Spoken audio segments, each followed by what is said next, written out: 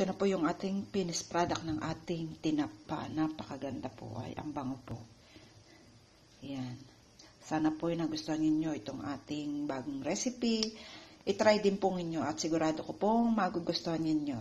Yan. Pwede ninyong ma-share sa inyong mga friend, kamag-anak, ayan po. At sigurado ko pong hindi kayo lugi sa aking panonood ng video. Bago lang po kayo, pakisubscribe po at pakilike. Yan po. Iyan ang ating pinaglutuan. Sunog kaya, gagamit po tayo ng aluminum at nang hindi tayo mahirapan pag-access. Ito lang ang medyo mahirap. Salamat po. God bless po sa atin lahat. Bye-bye po. Bye-bye.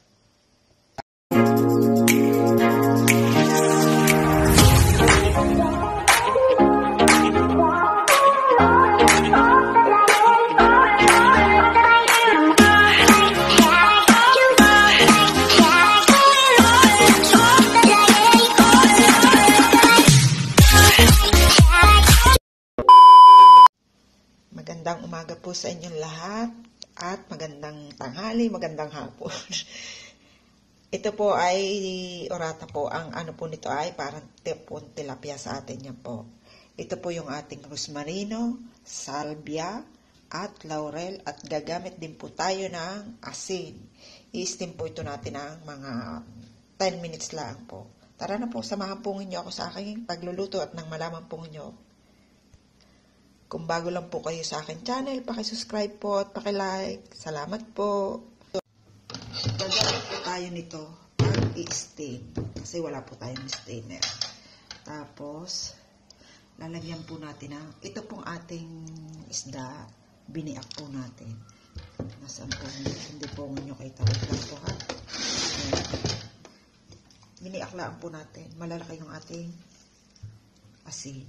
Biniak ko po. Ng madaling lumasa. Okay. Tapos, ito pong dahon ng laurel lagay natin sa gitna at nang malasa yung ating ating gagawin. Ayan. Rosmarino. Hindi ko po ilalahat at gagamitin po po natin yung iba mamaya sa ating pagluluto.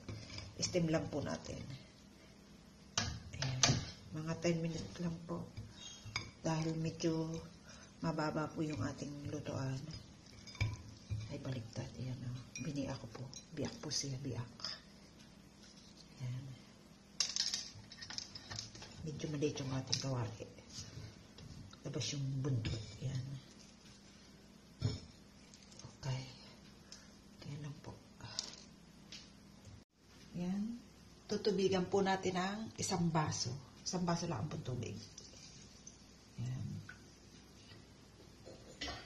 Tapos yung takip po, siguraduhin natin, lapat po yung takip para hindi po makasingaw. Dahil kawali po ito. Yan.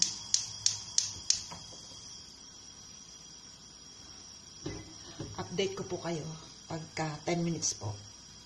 Ayan po, na-steam na po natin yan, oh. Kaunti lang po. Medyo hilaw pa yan, oh. Yan po. Tapos, pag basta nakita niyo po yung matang ganyan. Mga, ano po, 10 minutes po ha. Ayan po, yung asin natin hindi pa natunaw. Tapos, ito pong ating paglalagyan, mamaya po ay, nugasan ko na po. Tutuyuin natin at pupunasan natin ng langis bago natin po ipatong. Yan.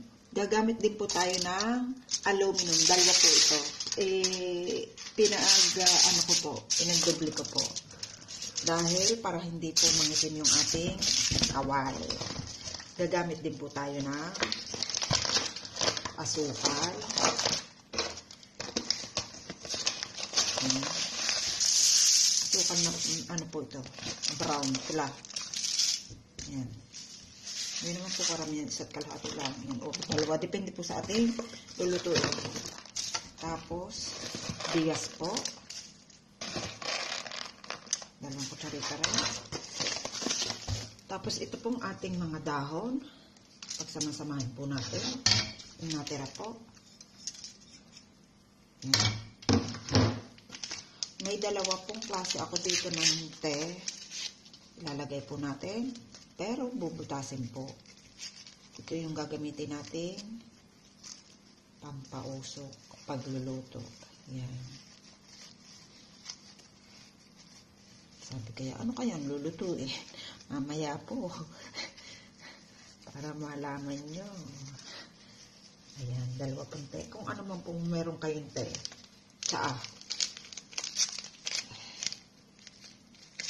Okay. Putasin po natin. Hmm.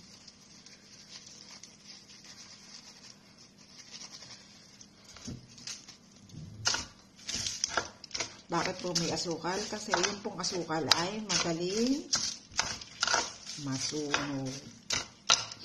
Yan po ang magbibigay sa atin ng uso. Yan.